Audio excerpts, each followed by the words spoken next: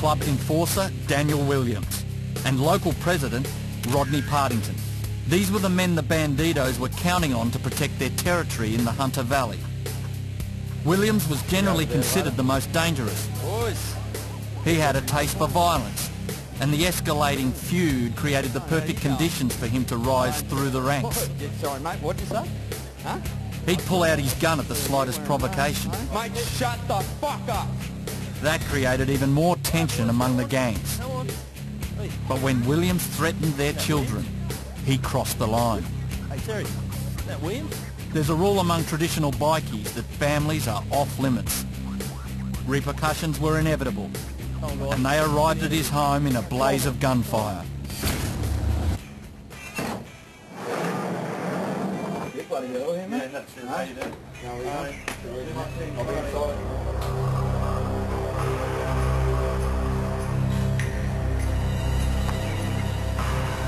A number of fairly big burly characters jumped out of a uh, four-wheel drive. Uh, all looked of uh, bikey appearance. Uh, one of them had a pistol, another a rifle, and a, uh, a third one we believe had a shotgun. There was bullet holes that didn't only just strike the front wall, they travelled throughout the house.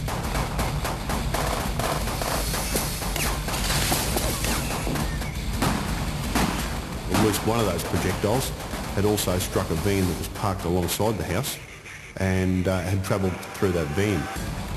The van belonged to an electrician who had been hired by Williams to install a security system. Somehow, he escaped uninjured. According to police, inside the house, Williams was cowering. Like anyone, I suppose, in that situation, he hit the, the deck very quickly. Uh, I think if Daniel could have, he'd have uh, dug a hole through the bottom of the floorboards with his hand to get down lower.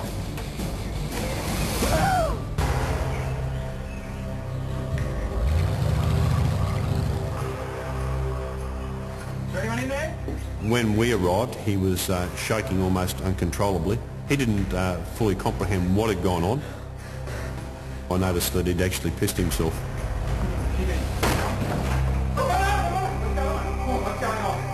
I'll tell you what, um, you know, the bikies don't often like a, uh, a police presence around them, but uh, I think the police pulling up that day were a little bit like the cavalry arriving for Custer. I'll just, just let me get here, okay?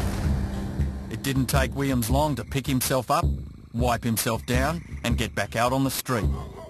He was out of control. Pick his legs up now. It's like old time, though. When a drug dealer owed the gang money, Williams meted out a cruel and brutal punishment. He was tied up and uh, tortured over a number of uh, hours.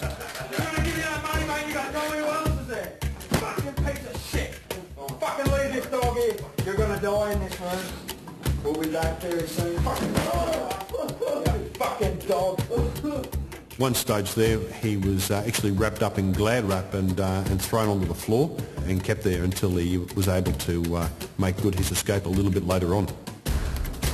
For hours, the dealer worked to set himself free.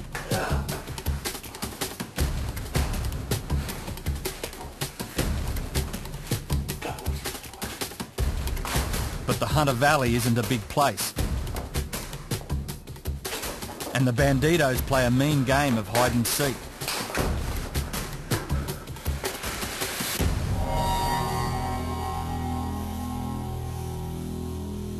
Terrified, the dealer managed to hide for a few weeks. But bikies have long memories. Eventually, his luck ran out. When his tormentors caught up with him again, they were in no mood for mucking around. You be a good girl. Don't call the cops.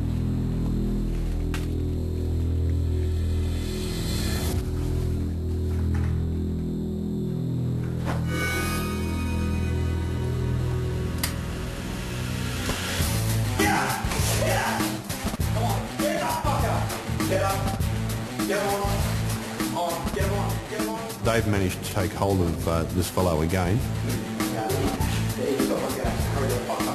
and I think he realised at this point that he was going back and it was all about to start again. If not, uh, probably would have got worse.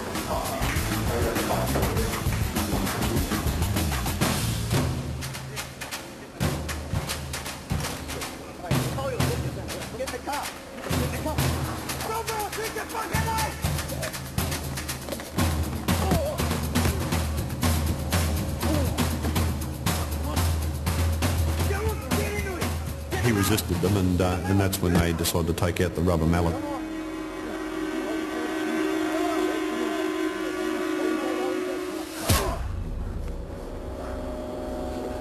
This fellow was then smashed in the face a number of times uh, in the middle of a uh, public street with this rubber mallet.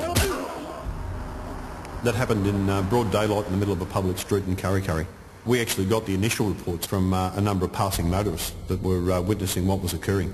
Again, as, uh, as brazen as you like, uh, out in the public. Williams was sent to jail for kidnapping and assault. But the Bandidos weren't done. Not by a long shot. Their president, Rodney Partington, had a plan.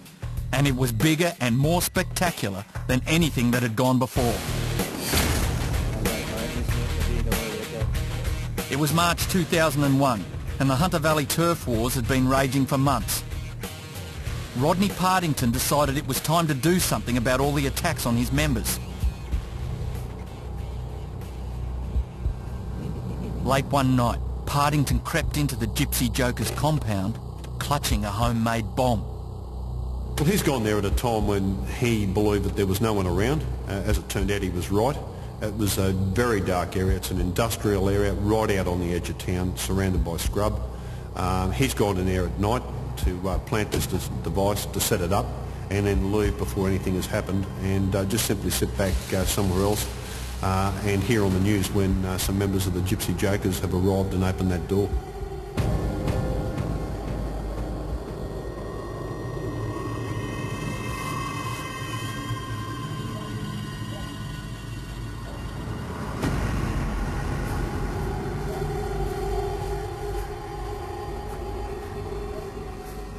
It was fairly clear in our minds that he was planning a bomb to take out one or more members of the Gypsy Jokers when they arrived at the clubhouse.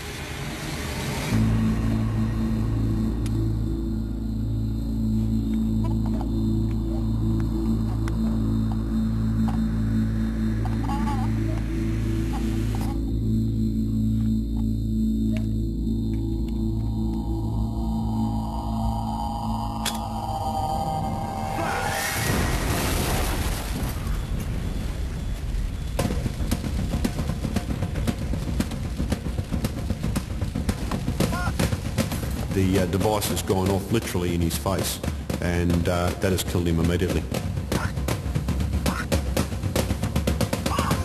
With Partington dead and Daniel Williams in jail, local Sergeant-at-Arms Ian Melder moved away from the area to set up another clubhouse further up the coast. Quiet returned to the Hunter. The focus was to shift squarely back onto the Bandidos in Sydney. Next on Gangs of Oz, a traitor in their midst. Stephanie Roman reveals what really happened the night her Bandido lover was killed. I wanted to tell Hooks when he got back. I wanted to tell him, I wanted to warn him just to watch out for him.